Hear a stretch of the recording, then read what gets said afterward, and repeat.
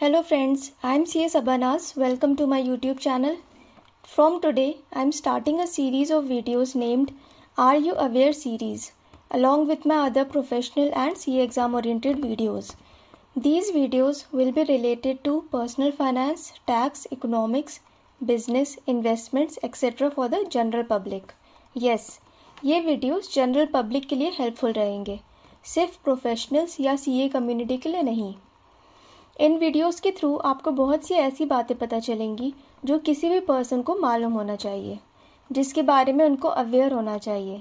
तो चलिए स्टार्ट करते हैं आर यू अवेयर सीरीज़ का first video what is shrinkflation shrinkflation क्या होता है? श्रिंकफ्लेशन का सिंपल मीनिंग है less quantity in same price मतलब कि आप किसी प्रोडक्ट को जितने पैसों में पहले ख़रीदते थे सेम अभी भी उतने ही पैसों में ख़रीद रहे हैं। बट अब आपको वो प्रोडक्ट कम मिल रहा है।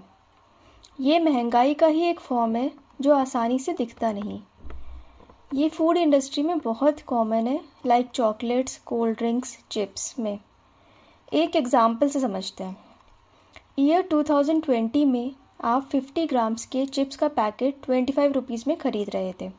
आज ईयर 2022 में भी आप वही चिप्स का पैकेट लेने जाते हैं और 25 रुपीज़ का ही ख़रीदते हैं।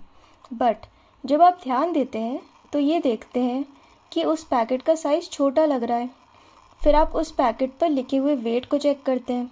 तो आपको पता चलता है कि वो तो सिर्फ़ थर्टी ग्राम्स का पैकेट है।